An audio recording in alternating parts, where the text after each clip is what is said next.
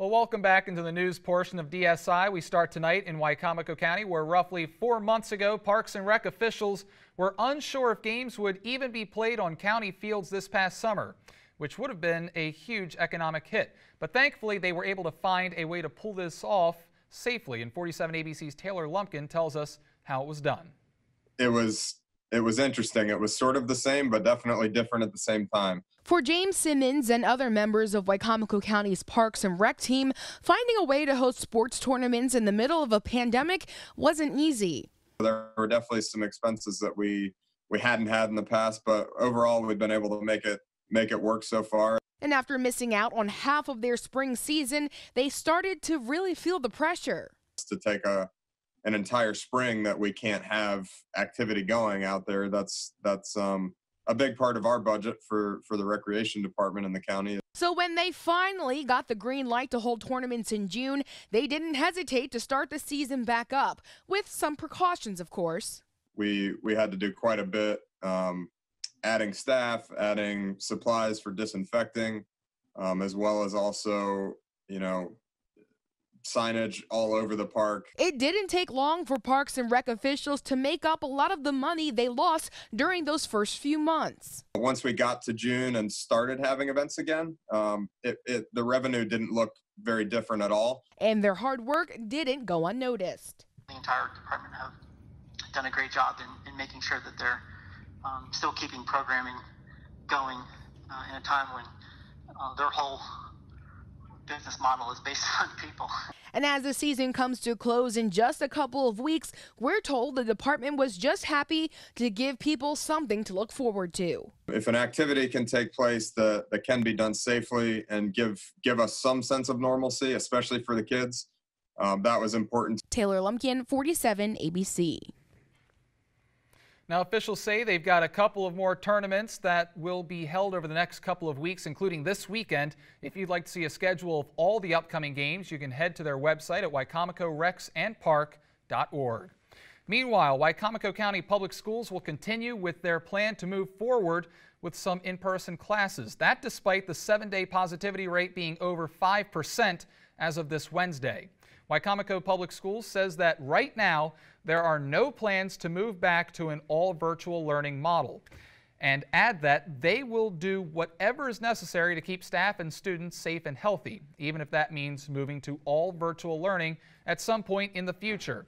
Earlier this week, Dorchester County Public Schools shut down their schools indefinitely and went back to virtual learning, citing the rising number of COVID cases in their area. Now let's toss things over to Chief Meteorologist Daniel Johnson with his full forecast. Daniel. Hey, Brandon, thank you very much. Here is a live look outside in Rehoboth Beach. Looks like they're all decorated early for the holidays, at least it looks like it. Gets me in the festive spirit here, uh, seeing the lights. Uh, traffic running smoothly, of course, but a good amount of people we saw earlier on our Rehoboth Beach Skycam this evening. So the crowds are heading to the coast, it looks like, and it's a bit foggy in some areas tonight. 59 right now for our weather watcher Ted in Millsboro, 61 for Chucky and Lewes, and 65 for John in Fenwick.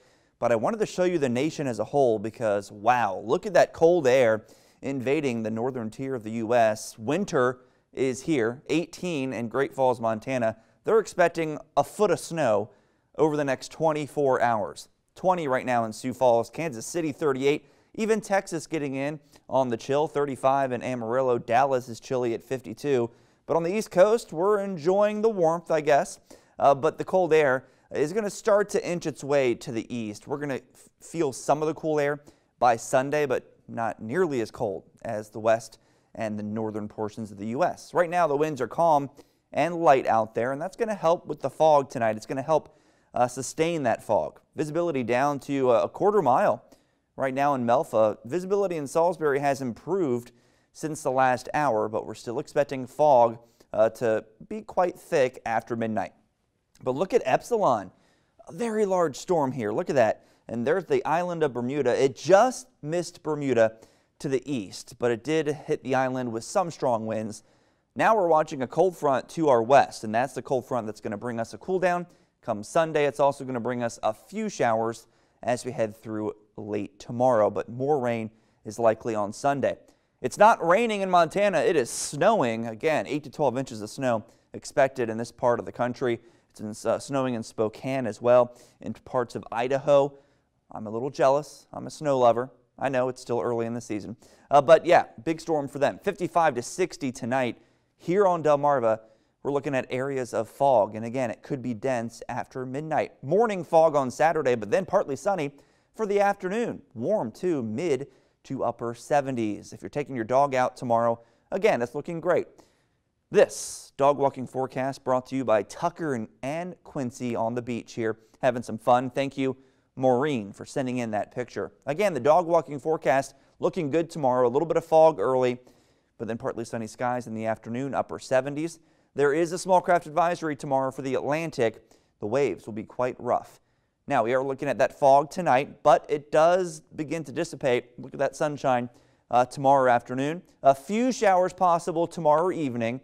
Nothing to cancel your plans over, but Sunday is looking gloomy. It's an indoor type of day because we're expecting off and on showers. Cool too, a high of 60 Sunday, but we warm up Monday, Tuesday and dry out, but the rain comes back late next week. Brandon?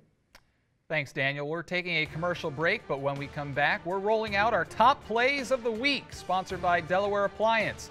Don't go anywhere. This is the Delmarva Sports Insider. Hi, my name is Fred Johnson, head coach at Lake Forest High School, and you're watching Delmarva Sports Insider.